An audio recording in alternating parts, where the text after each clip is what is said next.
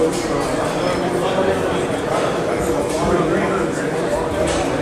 don't know, but I can tell he tripped on me.